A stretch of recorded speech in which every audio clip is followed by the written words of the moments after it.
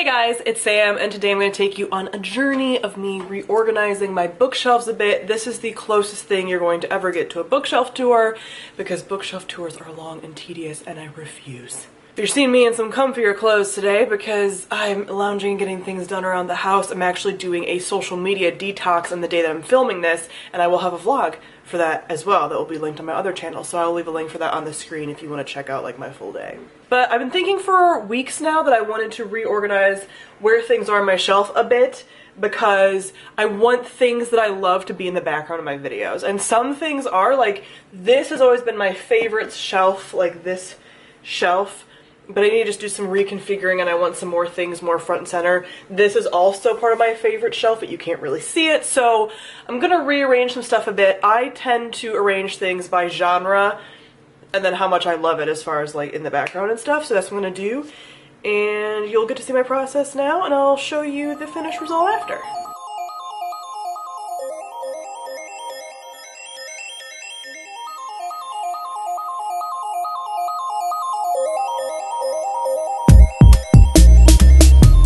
Keep staring at my shelves right now because it's stressing me out. Like, I think I need to move this shelf over here because it makes more sense. Like, I already have a lot of YA on this shelf, so I figure, like, put my YA favorites on this shelf and have more of my adult on this shelf, but, like, I've always had this shelf here.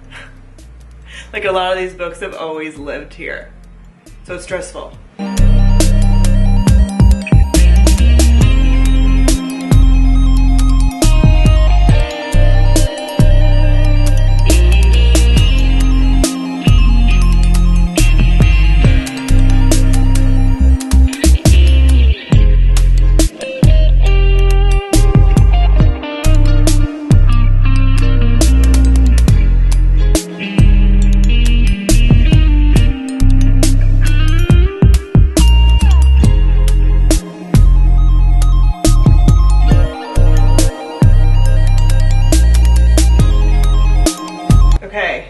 Have these like gaps because I kind of was doing like favorites YA, favorites adult where you can like really see it.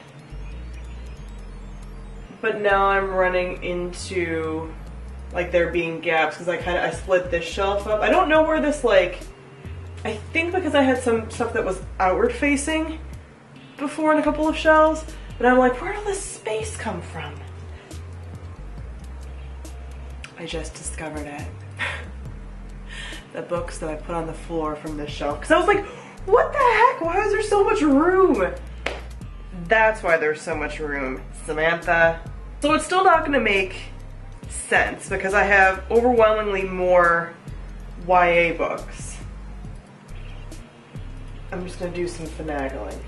I'm gonna finagle. So now it's gonna be less like sorted by genre the way that I sort of had it before because I have way more fantasy and way more YA fantasy than I have anything else. But I still am doing it for the framing, so I still want my favorites of things to be front and center. Not that some of my other favorites aren't, you know, gonna be in the, some of them aren't gonna be in the picture because I have a lot of favorites, but I'm trying to do that so that like my most recent book tastes you guys can see plainly in the background of my videos. So like this end and this end of the top shelf you can't see as much. It is kind of bothering me though that like this is my like adult sci-fi, this is my like adult fantasy, this is my adult fantasy, but like now this is gonna be combined with like some random YA and my brain's like no! But I don't have any other way to do it right now.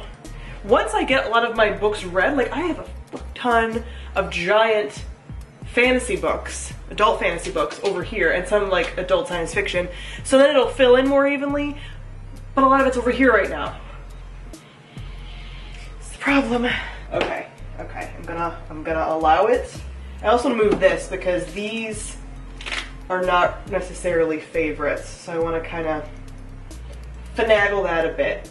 And maybe I could put like Cinder and stuff up there because since they're not favorites, it won't bother me. But right now, this is all like a retelling shelf which makes a little more sense to me. But unfortunately, things are just gonna have to change. Maybe I should move this down here? Looking at like Yeah, because you can really see that shelf in my videos.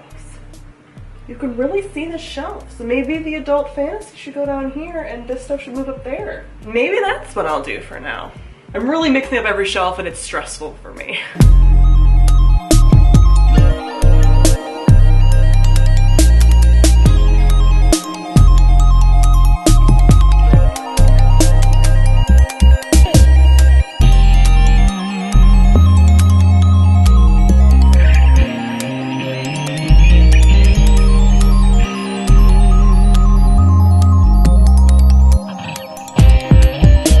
large series or a current issue, Finding a Spot for Falling Kingdoms, which at one point held a high place in my heart, but since the end of the series it's fallen, but I still have the whole series and I still want to like keep it and keep it together.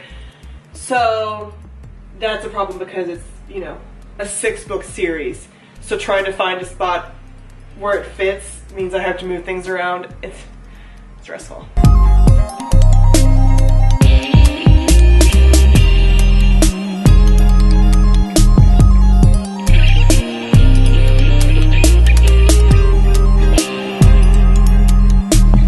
Okay, I think this is what I want. These outturned books just create more room for when I get things read, so that helps. There's still a lot of things that my brain's like, oh, I don't like it when I look at my complete shelf because like I feel like this whole section should just be like adult fantasy and it's not, you know? And then like this is like the adult sci-fi, but then we run into like YA and like these are my YA favorites. Like it's just it's jumbled in a way that my brain's like, oh. But I also just think that's because I'll get used to it. So yeah, it's just like I've had kind of a system that's been very similar for the books for a long time. So this is new. Also, the shelf down here, which I don't even think you guys can see, is sort of like my rejects shelf. Like, I haven't quite gotten the heart to unhaul them, but they're books, like, like they're all my, like, two and one star and like low three star books. So, oh, Garrett should go back up here with the space stuff. So yeah, that creates a little more room for things that I'm reading currently that I know we're gonna get slotted in in various places. I like it. I'm gonna be really happy when this shelf is like all adult fantasy. That's gonna make me happy. But right now there's just kind of like a smattering of things. And I'm looking at things and I'm like, there's some things that could get unhauled on my like read books, which I probably will do towards the end of the year so that I can make room for more favored books that I'm currently reading kind of thing. But I can kind of see, I can see an unhaul coming. There's some small, there's a small pile at the bottom that you guys can't see. There are things that I'm like thinking about hauling, like I'm not even considering it on my shelf anymore. So this is my rearranged look. I actually just started arranging my TBR shelf to show you, but I just reminded myself that I want to have like my TBR shelf and then take off some of the books that I know for a fact that I'm not going to read this year, like, and I've given myself permission to not read this year. There's a couple books that are continuations of series that don't have next books yet, so I'm not in like a hurry to read those. Like, I'm not really including those in my TBR for this year. There's a few books like that that I'm kind of considering like anytime you want to reads instead of like get this done by the end of this year reads. So I'm going to eliminate those from the TBR shelf, probably put them in one of these shelves because that that should be equivalent of how many books, like it's only like maybe five books or less that I'm not including on this year's TBR. And then going from there and showing you my TBR shelf.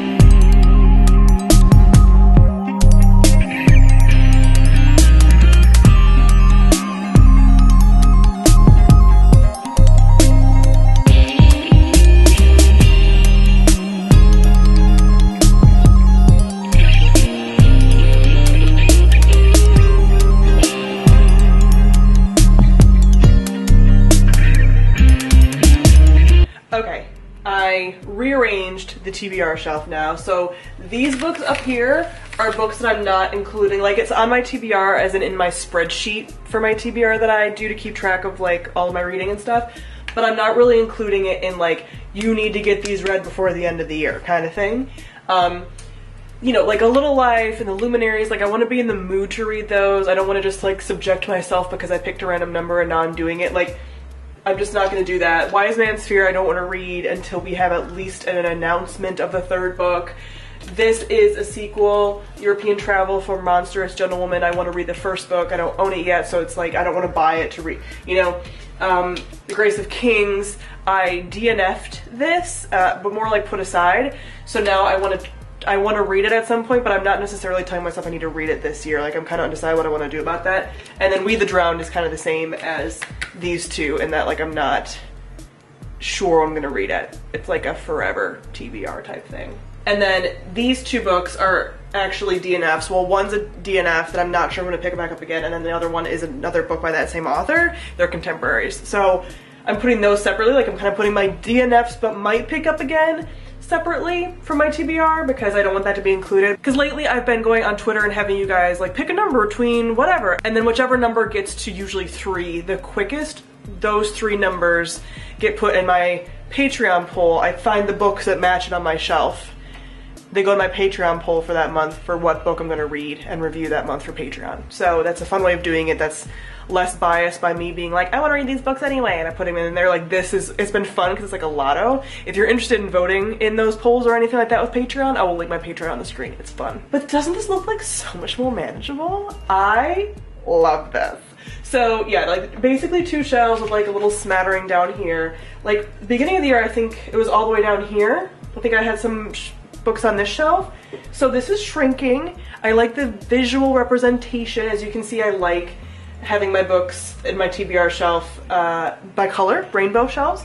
And then just this month, I don't usually do this, but just this month, I pull out the books that I'm reading for a readathon. That's on like a readathon TBR. I only do that when I'm doing readathons, otherwise I just go to my shelf, pick what I want.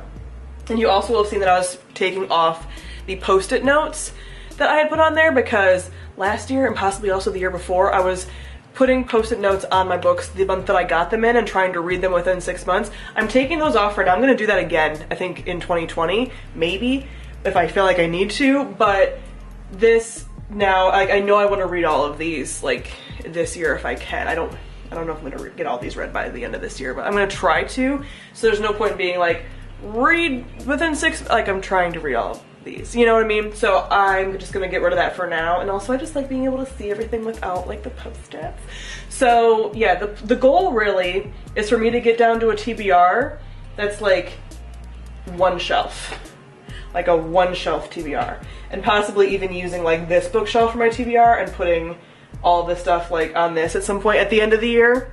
So you might have a future organization video on your hands, but yeah, I, I don't want to have this like giant TBR shelf, you know? And even though I only use like these three shelves for my TBR and the rest is like more storage stuff, I just, I want less with the TBR so that I'm always excited about everything on there. So yeah, here is my beautiful TBR shelf. Shall I do a quick rundown of the shelves? This is the closest thing you're getting to a bookshelf tour, guys. It's the closest thing.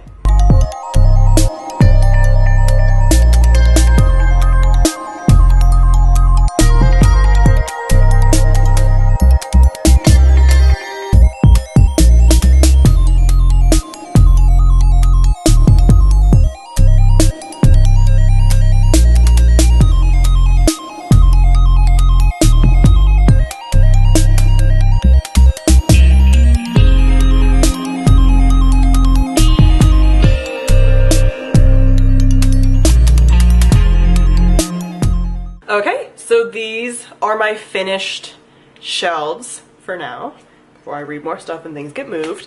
But comment below, let me know if you enjoyed this, let me know your thoughts. If there's a certain kind of bookshelf video that you'd like to see that's not a bookshelf tour, I don't really know what else I could do besides something like this.